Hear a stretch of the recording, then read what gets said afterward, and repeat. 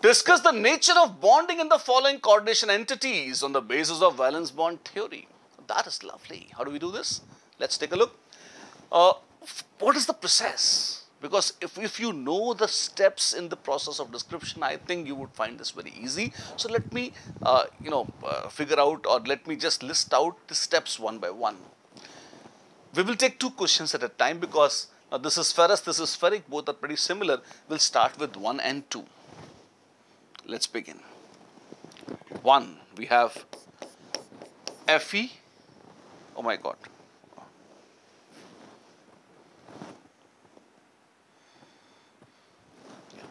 So first we will have Fe Cn6 4 minus and at the same time the second one which says Fe F6 3 minus.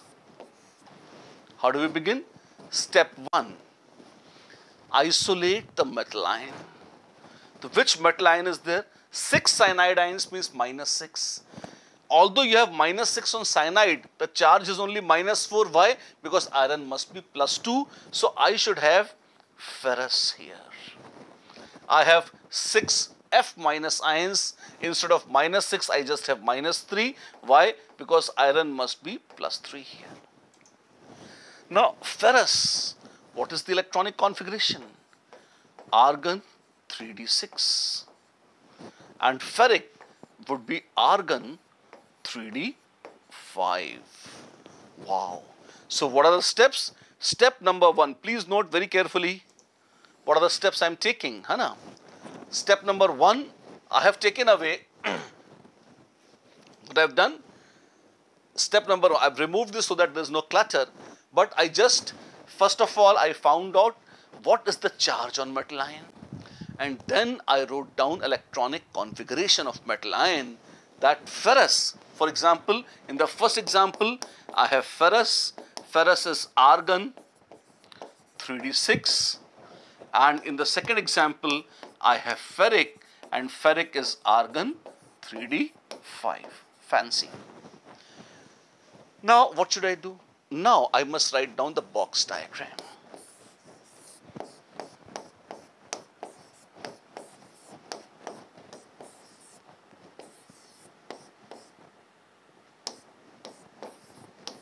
What is all this nonsense? No, this is 3D. There's no nonsense. This is 4S and this is 4P. This is 3D, 4S and 4P. Right? Something of that kind. Now, if I have electrons here, which is truly uh, nice, 6 electrons, 1, 2, 3, now 4, 5, 6, how do I fill up these orbitals? Now I must consider the field strength of the ligand. So what did I do? First, I wrote down the metal ion and the charge correctly. Second step, I wrote down the electronic configuration. Third step, I just drew up the boxes. I did not make any very special effort. I just drew the boxes. Right. And then I'm now trying to fill electrons and when I'm filling the electrons, I must be very careful. If I have strong field ligand like cyanide, if it is cyanide, it is strong field, so I should pair the electrons. F minus, F minus is a weak field ligand. So, usually, very often, electrons cannot be paired by F minus or even oxalate ions which are also kind of, you know, not that glamorous or powerful. We will see oxalate when we come to oxalate. First, let us stay with iron. Since cyanide is strong field and since it will cause pairing, this is what I get. Oh my god, these orbitals are empty? Yes.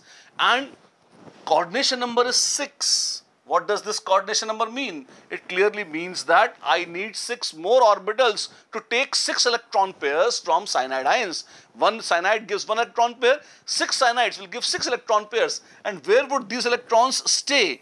They will stay in D2sp3 hybrid orbitals and they are all identical 1, 2, 3, 4, 5, 6 and they will be like this and that makes the geometry octahedral. So, this is the nature of bonding and I have DS, D2sp3 hybridization and this is the description. What about ferric? Let us try that. Now, first I have 3D. 4s, 4p and if somebody is interested, I let me even draw 4d. 3d, 4s, 4p and 4d orbitals. Fascinating. Now, ferric ions have D5 configuration 1, 2, 3, 4, 5. This is the lovely D5 configuration very much. What is the power of fluoride ions? There is no power of fluoride ions. So can fluoride ions pair? They can't pair. If they can't pair, then as lone pairs attack, ting, tang, ting, tang, ting, tang, ting, tang, they are coming towards ferric. Oh, ferric ions is very, they are very casual. They say, ah, go and sit outside, don't come in. That is an insult. Okay, let it be. But if you are coming, then sit outside, don't get in. Fine. Now, ferric ions being Lalu, they can't help it. And you have 1, 2, 3, 4, 5, 6. You have sp3 d2 hybridization. This is now an outer orbital complex. Why? Because outer orbitals are being used while the previous one was inner orbital. This is inner orbital. This is outer orbital complex. Then in this case, because there is pairing, this is called low spin. And in this case, there is no pairing, so this is called high spin. Oh wow, that's it. That's it. Have we finished the description? This is the valence bond theory description of two complexes. And what about the other two? Let's take a look at the other two. You have tris oxalato cobaltate 3 and tris, sorry, hexa fluorido cobaltate 3 ion. These are also very beautiful ones. How? Let's take a look. In both 3 and 4, I have actually cobalt plus 3 cation, both of them. And cobalt 3 is argon 3d6. It is argon 3d6. Are you aware that as you move across the periodic table from left to right, the tendency to become low spin increases. So cobaltic is, you know, very keen to become low spin. But fluoride is so stupid and this is such a lalu, you know, very weak field ligand that fluoride, although cobaltic is dying to pair up, fluoride ion cannot cause any pairing and because of that, if you look at the configuration,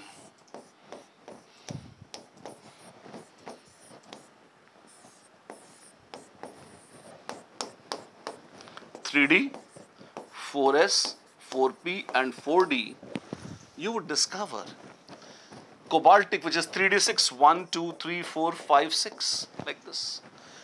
F minus cannot cause pairing.